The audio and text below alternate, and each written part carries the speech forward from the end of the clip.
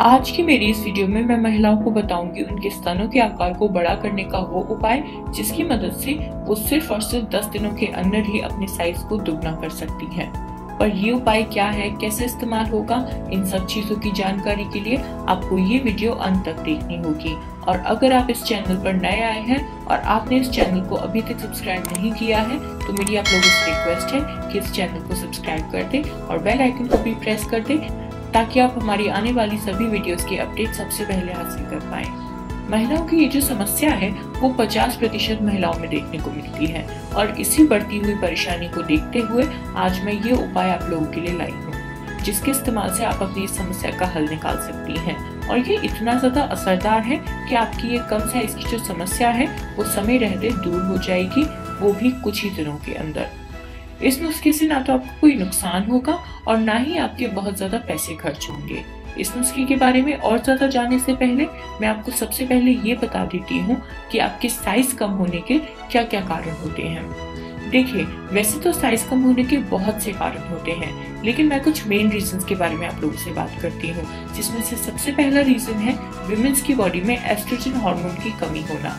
ये एक सबसे मुख्य कारण है, जिसकी वजह से अक्सर महिलाओं में उनका साइज़ कम रह जाता है, क्योंकि जो एस्ट्रोजन हार्मोन होता है, वो आकार को बढ़ाने में मदद करता है। और बाकी जो दूसरे रीजंस हैं, वो है न्यूट्रिशन ठीक से ना मिलना। ब्लड सर्कुलेशन प्रॉपर ना होना हार्मोनल इम्बेलेंस जैसे सभी कारण आपके शरीर की ग्रोथ होने से रोकते हैं, जिसकी वजह से आपका जो आकार है वो कम रह जाता है और शरीर की पूरी तरह से ग्रोथ भी नहीं हो पाती है। पर इसका मतलब ये नहीं है कि आप अपने साइज़ को इंक्रीज नहीं कर सकती हैं। आपको बस अपने साइज़ को इंक्रीज करने के लिए एक सही सोल्यूशन की ज़रूरत है, और घरेलू नुस्खों से बेहतर और क्या हो सकता है? ये इतने ज़्यादा प्योर होते हैं कि आपकी समस्याओं को झट से खत्म कर देंगे।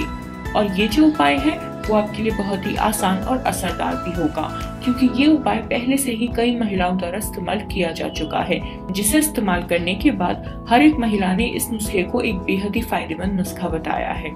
इसलिए ही मैं आप लोगों को ये नुस्खा रेकमेंड कर रही हूँ। चलिए तो मैं आपको बताती हूँ, आपको इस नुस्खे को बनाने के लिए किन किन इंग्रेडिएंट्स की ज़रूरत पड़ेगी।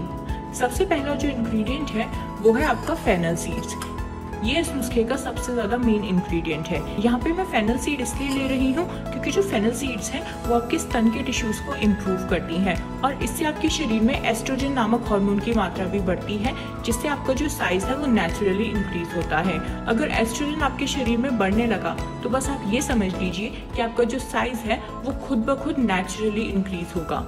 इसलिए एस्ट्रोजन को बूस्टअप करने के लिए मैं यहाँ पे फेनल सीड्स ले रही हूँ। और जो दूसरा इंग्रेडिएंट है, वो है शहद।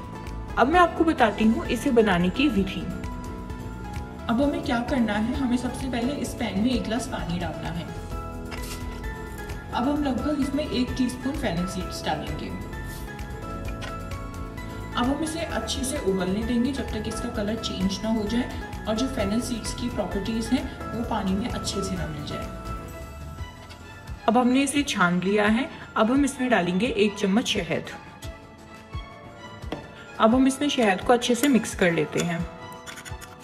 अब मिक्स करने के बाद आपका ये जो नुस्खा है, वो पूरी तरह से तैयार हो चुका है। अब आपको इस ड्रिंक का डेली सेवन करना है और धीरे धीरे आपका जो साइज़ है, वो पूरी तरह से इंक्रीज होने लगेगा। यानी कि अगर आपका साइज़ 30 है तो वो बहुत ही आसानी से इस ड्रिंक की मदद से बत्तीस हो जाएगा। आपको बस इस ड्रिंक का सेवन लगातार 15 से 20 दिनों तक करना है।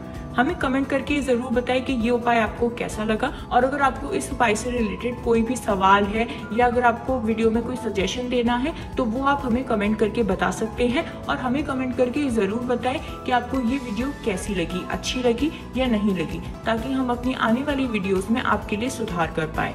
अगर आपको ये वीडियो पसंद आई है तो इस वीडियो को लाइक करना और शेयर करना ना भूलें।